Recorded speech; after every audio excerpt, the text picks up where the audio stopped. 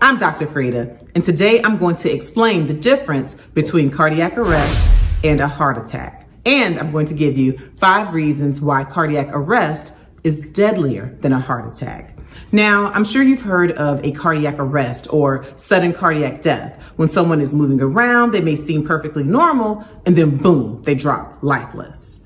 And you've probably also heard of the fact that heart disease is the number one killer among men and women. But what you may or may not know is that cardiac arrest is different from a heart attack. Not that you want either. So yes, a heart attack can cause cardiac arrest. But you can have a heart attack without having cardiac arrest, and you can have cardiac arrest without having a heart attack. Does that seem confusing? Don't worry, because I'm about to break it down. I'm going to explain the difference between cardiac arrest and a heart attack and give you five reasons why a cardiac arrest is more deadly than a heart attack. Keep watching. Be sure to download your copy of my book. It's called Under Pressure. It's your step-by-step guide on how to control high blood pressure. This book is packed with valuable tools, guidelines, and information to help you to control high blood pressure. Click the link in the description to get your copy today. I'm Dr. Frita, an MD who has been triple board certified, and today we're going to discuss cardiac arrest versus a heart attack. We will cover one, the difference between a heart attack and sudden cardiac arrest, two, the signs and symptoms of cardiac arrest. Three, the causes of a cardiac arrest. Four, I'll give the reasons why a cardiac arrest is actually deadlier than a heart attack. And five, I'll answer the question, is a cardiac arrest a death sentence? And we'll discuss action steps. So let's get started. Cardiac arrest versus a heart attack. Now, a heart attack occurs when there is a blockage of blood flow to the heart muscle, whereas with the cardiac arrest, there is an electrical issue, a malfunction in the electricity of the heart.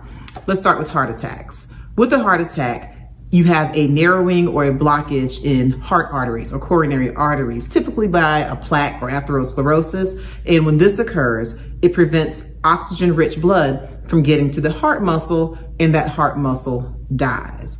With a heart attack, there are typically warning signs. The warning signs could be within seconds, minutes, hours, months, and you can get symptoms of a heart attack, such as chest pain chest pain or tingling in the left arm or both arms, jaw pain, be sure to watch my video on heart attack symptoms, seven warning signs you should never ignore after you finish watching this video.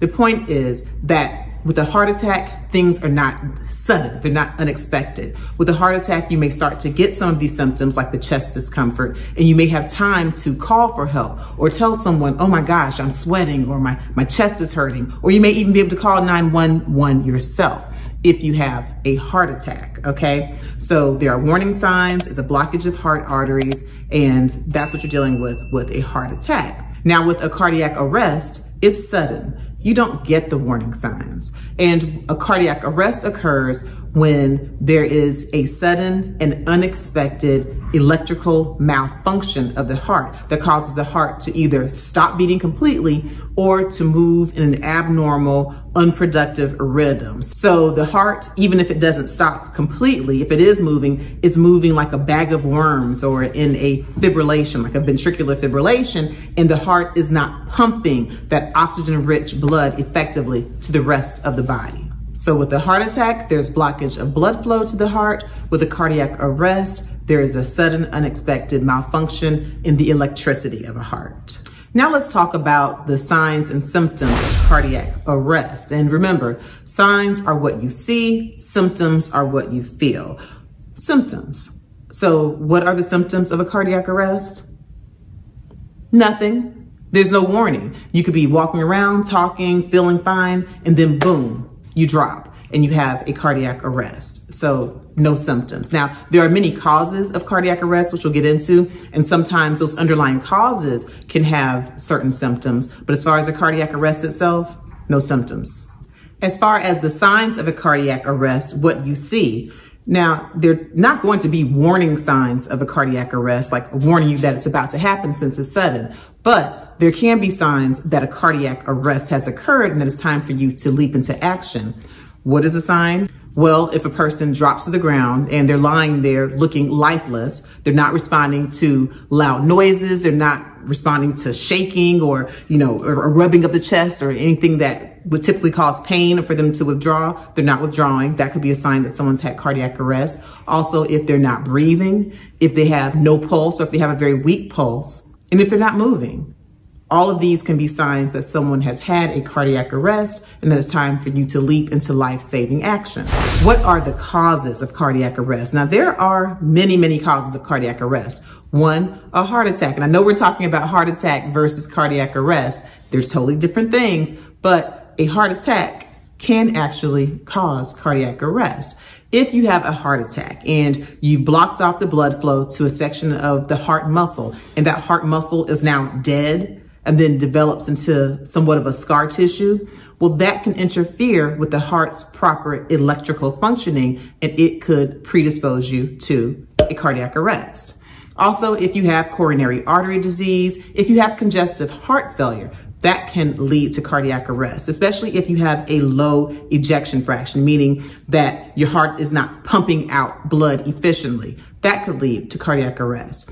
If you have cardiomyopathy, where the heart is stretched, and that can affect the electricity of the heart and lead to a cardiomyopathy. You can have cardiomyopathy from things like viral infection, like a Coxsackie virus, or even if you've had a chemotherapy that has led you to having a cardiomyopathy. Sometimes uh, certain habits like excessive use of alcohol can lead to a dilated cardiomyopathy. All of these things can put you at risk for cardiac arrest. Blood clots can lead to a cardiac arrest. For example, if you have a DVT, a deep venous thrombosis in the leg, and it travels up and eventually blocks the proper heart flow, that could lead to a cardiac arrest. Other causes include congenital heart disease, long QT syndrome, hypertrophic cardiomyopathy, Brugada syndrome. If you have a very high potassium, that can lead to cardiac arrest. Respiratory failure can do it. Drug overdose can do it. Heart valve disease can also lead to cardiac arrest. Another cause is commotio cordis. This is something that typically occurs in adolescents playing sports like baseball or doing martial arts or lacrosse. And it occurs when there is a blow to the chest at the exact right spot and at the exact right time in the electrical cycle of the heart to cause it to go into an abnormal heart rhythm. Be sure to download your copy of my book. It's called Under Pressure. It's your step-by-step guide on how to control high blood pressure.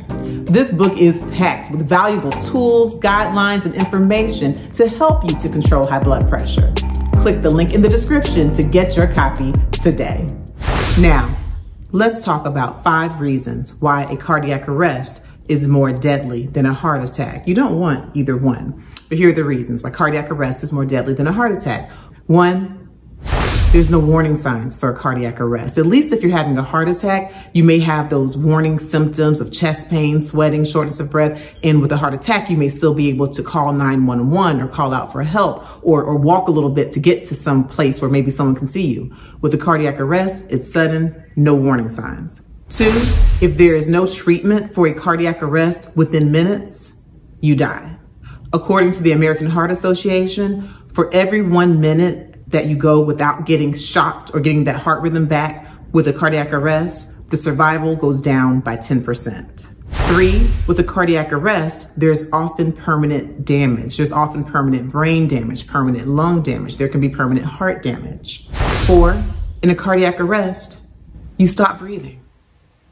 What's more deadly than that? Five, between 70 and 90% of the people who have a cardiac arrest outside of a hospital setting die before they ever make it to the hospital. And now to answer the question, is a cardiac arrest a death sentence? I know I've given some pretty grim statistics, right? I've kind of been a bit of a, a fun snatcher, a mood killer as I've described cardiac arrest, but it's actually not necessarily a death sentence. What is key is acting and acting fast. If you witness someone having a cardiac arrest, you must immediately activate EMS. You want to call 911 and you need to leap into action and start CPR. Even if you're not trained in CPR, go to heart.org and at least learn how to do some of the compressions where you're pushing down on the chest in about 100 to 120 times per minute to the beat of ah, ah, ah, ah, staying alive, staying alive. And you want to do those chest compressions. And if you have been trained in CPR, which I strongly recommend that everyone become CPR certified, then you can actually administer proper and complete CPR and you do the breaths as well. But even if you don't know how to do the breaths, you can just do chest compressions and that can help to save a life. Meanwhile, you want to get a defibrillator, an AED, an automated electronic defibrillator. The AEDs are located most places nowadays. You can even order one to have yourself and they give step-by-step -step instructions. They're meant for people who are not healthcare providers. So please do not be intimidated by an AED. You hook it up, put the pads on the chest as directed, and the AED will tell you if a person needs a shock. Having that shock, having that defibrillator can save the life in a person who has cardiac arrest. So even though the statistics are a bit grim when it comes to cardiac arrest, no, a cardiac arrest is not necessarily a death sentence. So there you have it, the difference between a cardiac arrest and a heart attack. If you found this video to be helpful and informative, please be sure to like it and to share it with the people you care about. Also be sure to subscribe to my YouTube channel if you have not done so already. I thank you for watching. I appreciate your support and I want you to do your best to live your healthiest, happiest life. I'm Dr. Frita.